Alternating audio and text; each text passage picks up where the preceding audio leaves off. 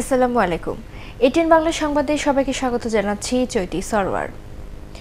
Digital নিরাপত্তা আইন বাতিলের দাবিতে বামপন্থী ছাত্র সংগঠনগুলোর স্বরাষ্ট্র মন্ত্রণালয় ঘেরাও কর্মসূচিতে বাধা দিয়েছে পুলিশ। পুলিশি বাধায় সচিবালয়ের পাশে ডিপিডিসি ভবনের সামনে সমাবেশ করে বিক্ষুব্ধরা। কারাগারের লেখক মুশতাক আহমেদের মৃত্যুর প্রতিবাদ করতে গিয়ে গ্রেফতার হওয়া আট জনের মুক্তি ও ডিজিটাল নিরাপত্তা আইন দ্রুত বাতিল না করলে কঠোর কর্মসূচির হুঁশিয়ারি দেন তারা। শফিকুল ইসলাম শামীমের রিপোর্ট। ডিজিটাল নিরাপত্তা আইন বাতিলের দাবিতে শুক্রবার সন্ধ্যায় মশাল মিছিল করতে গেলে শাহবাগে পুলিশের সঙ্গে বামপন্থী ছাত্র সংগঠনগুলোর নেতাকর্মীদের সংঘর্ষ হয়। ওই ঘটনায় বাম ছাত্র সংগঠনের সাত নেতাকর্মী গ্রেপ্তার হন। একই দিন খুলনায় গ্রেপ্তার হন বামপন্থী শ্রমিক নেতা রুহুল আমিন। তাদের মুক্তিসহ ওই তিন দফা দাবিতে দুপুর বারোটার দিকে ঢাকা বিশ্ববিদ্যালয়ের রাজু ভাস্কর্য থেকে বিক্ষোভ মিছিল শুরু করেন নয়টি বামপন্থী ছাত্র সংগঠনের নেতাকর্মীরা। পূর্ব ঘোষিত কর্মসূচি অনুযায়ী মিছিলটি সচিবালয়ের দিকে যেতে চাইলে পথে কয়েক দফা বাধা দেয় পুলিশ। পুলিশের বাধায় মিছিল এগোতে না পেরে ডিপিডিসি ভবনের সামনে অবস্থান নেন বিক্ষোভকারীরা। সেখানেই শুরু হয় সমাবেশ। বিক্ষোভে ছাত্রনেতারা বলেন পুলিশের বাধা সত্ত্বেও তারা তাদের কর্মসূচি সফল করেছেন। একজন মানুষ জামিন পেল কিনা জামিন ছাড়াই একজন মানুষের বাংলাদেশে মৃত্যু ঘটে গেছে। স্বরাষ্ট্র মন্ত্রণালয়ে ঘেরাও হয়েছে। আমরা প্রয়োজনে এই ডিজিটাল সিকিউরিটি অ্যাক্ট বাতিলের জন্য নিজের জীবন ঢেলে দিব রাজপথে। তিন দফা দাবিতে তিন মার্চ প্রধানমন্ত্রী কার্যালয় অভিমুখে বিক্ষোভ কর্মসূচির ডাক দিয়েছে আন্দোলনরত ছাত্র সংগঠনগুলো। শফিকুল ইসলাম শামীম এটিএন বাংলা। ঢাকা বিমার টাকা গ্রাহকরা যেন সঠিকভাবে সময় মতো বুঝে পায়, সেজন্য সংশ্লিষ্টদের আরও যত্নবান হওয়ার তাগিদ দিয়েছেন প্রধানমন্ত্রী শেখ হাসিনা। জাতীয় বিমা দিবস উপলক্ষে গণভবন থেকে ভিডিও কনফারেন্সে বঙ্গবন্ধু আন্তর্জাতিক সম্মেলন কেন্দ্রে যুক্ত হয়ে তিনি এ তাগিদ দেন। বিমা করতে মানুষ যেন উদ্বুদ্ধ হয়, সেজন্য প্রচারণা বাড়ানোর পাশাপাশি বিমার পরিধি আরও বাড়ানোর কথাও বলেন প্রধানমন্ত্রী। এ সময় বিমা খাতে দুর্নীতি বন্ধের আহ্বানও জানান তিনি। যে কোনো দুঃসময়ে বিমা থাকাটা যে অনেক সুবিধা মানুষ পায়, এ ব্যাপারে মানুষকে আরও সচেতন করা দরকার।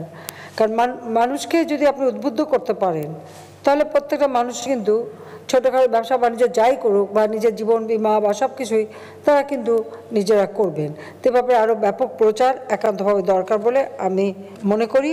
গ্রাহকরা বিমা ক্ষেত্রে প্রিমিয়ামটা যাতে সঠিকভাবে দেন সেটাও যেমন প্রয়োজন, আবার বিমার টাকাও যেন সঠিকভাবে পান সে বিষয়ে যত্নবান হওয়া একান্তভাবে প্রয়োজন। পুলিশ বাহিনী তাদের উপর অর্পিত দায়িত্ব সঠিকভাবে পালন করছে বলে মন্তব্য করেছেন স্বরাষ্ট্রমন্ত্রী Asaduzzaman Khan Kamal. Police memorial day দুই হাজার একুশ উপলক্ষে আয়োজিত অনুষ্ঠানে তিনি এ কথা বলেন।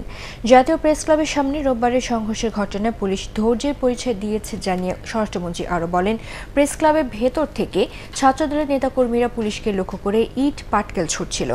কয়েকজন পুলিশ সদস্য সেখানে আহত হয়েছেন। পুলিশের উচিত ছিল এখানেও আরও ধৈর্যের সাথে পরিস্থিতি মোকাবেলা করা। পুলিশ সদস্য একজন পুলিশ মানে এক জায়গায় দাঁড়িয়েছিল তার পিছনে সবাই চলে গিয়েছিল। তাকে যে বড় বড় লাঠিতে পিটানোর দৃশ্যটা সেটাও আপনি দেখেছেন। চরম ধৈর্যের সঙ্গে তারা মোকাবেলা করেছে প্রেস ক্লাবে কোনোদিন ভিতরে আমাদের পুলিশ ঢোকে না এবং সেই দিন যেইভাবে ইট পাটকেল ছুটছিল সেই সময় দুই একজন হয়তো ঢুকেছে। কিন্তু সাধারণত ঢোকে না। এটা প্রেস ক্লাবের রীতি অনুযায়ী ঢোকে না। কিন্তু ওইখান থেকে যেইভাবে ইট পাটকেল ছুড়েছিল, যেইভাবে মারামারির সৃষ্টিটা করল, সেখানেও তাদের তো বোঝা উচিত ছিল যে এটা প্রেস ক্লাবের ভিতরে ঢুকে মারামারি করাটা ঠিক না। পৃথিবীর অনেক উন্নত দেশেও ডিজিটাল নিরাপত্তা আইনের মতো আইন রয়েছে।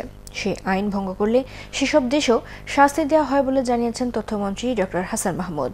তবে এই আইনে যাতে অপব্যবহার না হয়, সে বিষয়ে সরকার সতর্ক বলেও জানান তিনি। সচিবালয়ে চলচ্চিত্র প্রদর্শক সমিতির নেতাদের সাথে বৈঠক শেষে এসব কথা বলেন তথ্যমন্ত্রী। ডক্টর হাসান মাহমুদ আরও বলেন, ছাত্রদল নেতাকর্মীরা জাতীয় প্রেস ক্লাবকে ঢাল হিসেবে ব্যবহার করে পুলিশের উপর হামলা চালিয়েছে। এ কারণেই আইন শৃঙ্খলা রক্ষাকারী বাহিনী প্রেস ক্লাবের ভেতরে ঢুকতে বাধ্য হয়েছে বলেও জানান তিনি জাতীয় প্রেস ক্লাবে সাংবাদিকদের জন্য অত্যাধুনিক মিডিয়া সেন্টারের উদ্বোধন করেছেন বাংলাদেশে নিযুক্ত ভারতের high commissioner Vikram Kumar Doraiswami. Press ক্লাবের সভাপতি ফরিদা ইয়াসমিন ও সাধারণ সম্পাদক ইলিয়াস খান সহ ক্লাবের সদস্যরা এ সময় অন্যান্যের মধ্যে উপস্থিত ছিলেন। মাল্টিমিডিয়া, ওয়াইফাই সহ ভারত সরকারের সহায়তায় পুনর্নির্মাণ করা মিডিয়া সেন্টারটির উদ্বোধন করে ভারতীয় হাই কমিশনার বলেন, বাংলাদেশের স্বাধীনতার পঞ্চাশ বছর পূর্তিতে দুই দেশের বন্ধুত্বপূর্ণ সম্পর্কেরও পঞ্চাশ বছর পূর্ণ হচ্ছে। তাই এই উৎসব উদযাপন করবে ভারত সরকারও। পরবর্তী সংবাদ দেখার আমন্ত্রণ জানিয়ে এখন ক্রমত শেষ করছে। করোনা ভাইরাস থেকে নিজেকে সুরক্ষিত রাখতে মাস্ক পরুন এবং বারবার হাত পরিষ্কার করুন। এটিএন বাংলা সংবাদ, ইউটিউবে দেখতে ব্রাউজ করুন, YouTube slash ATN Bangla news. ধন্যবাদ সবাইকে।